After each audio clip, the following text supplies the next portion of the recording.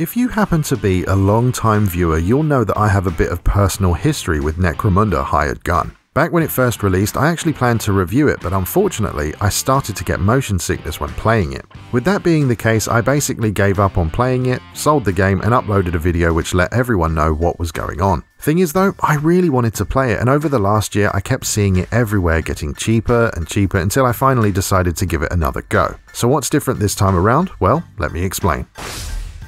So what happened? Well, the game was supposed to release via digital download in May 2021. However, as far as I remember, they intentionally delayed the physical version of the game until the end of June, but then it suffered an actual delay and got pushed back to the end of July. So in the end, I waited nearly two months just to get a physical copy of the game. At that point, I abandoned the idea of doing a full review and just planned to do a recommendation video on it instead if I liked it. Well, I sat down with the game and I was actually having a pretty good time with it. I mean, not amazing, but you know, decent. And then after about 45 minutes of game time, I started to feel really quite sick. Now, I've mentioned it before on the channel, but with a few games in the past, I have had motion sickness like Metal Gear Rising and more recently Call of Duty Vanguard. That said, the queasy feeling that I got with those games was much stronger and came on much quicker. Still though, Necromunda was giving me moderate motion sickness and so I gave up on the game. I just sold it on eBay and then put out a video explaining what happened. But what changed? How was I able to play it a year later?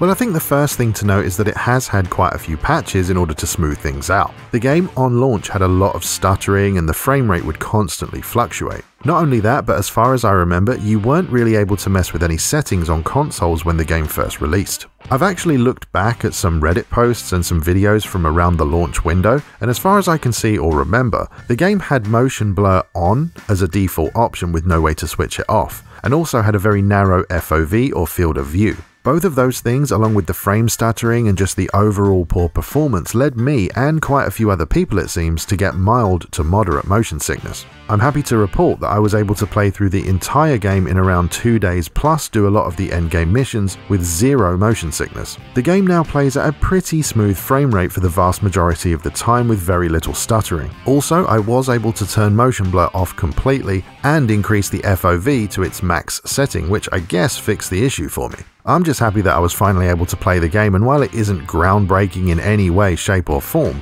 I still found it to be enjoyable, and for the price I paid for it, I think it was worth it. The game itself is a first person shooter with some light RPG elements that's set on the hive world of Necromunda a gigantic factory planet that produces a lot of the Space Marines weaponry. And yeah, for those of you who may not be aware, Necromunda is set in the Warhammer 40k universe, although you won't really be seeing any Space Marines. The gameplay is split into two sections, the hub area which is called Martyr's End, and the missions themselves. Martyr's End contains everything you need to upgrade your character, your guns, your gear, and your dog.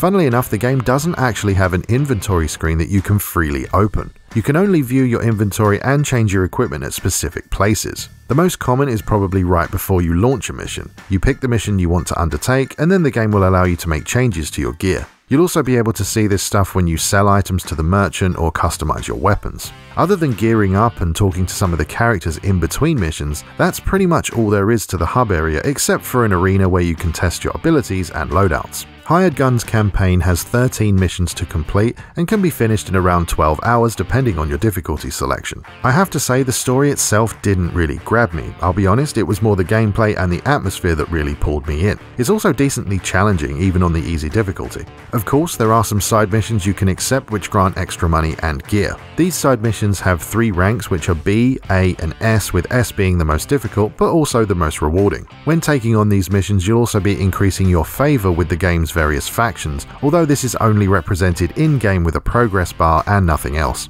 Once you fill a faction bar, you'll just get a piece of gear or a weapon as a reward.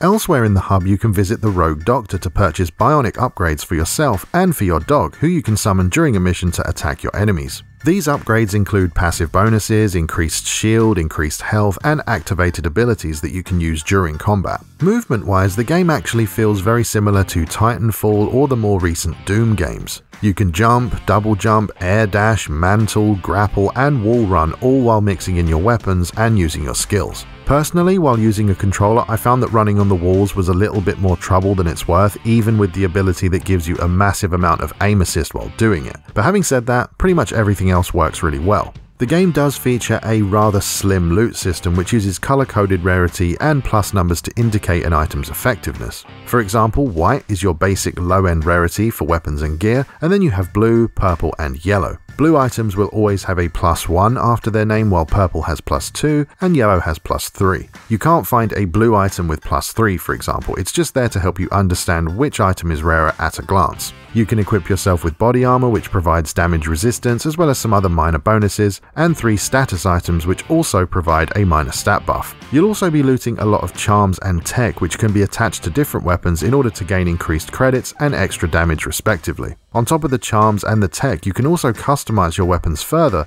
by adding different stocks, barrels, and even ammo types, among other things. I think it's a decently fleshed out loot system overall, but when you compare it to other looter shooters, it does lack a little bit of interest. To be fair though, the game isn't really a looter shooter anyway, it just kinda leans into it a little bit, so it's understandable and forgivable. I should also mention that the endgame is just running more of the side missions for the factions and completing the story missions with an S rank, so there really isn't much else to say about it.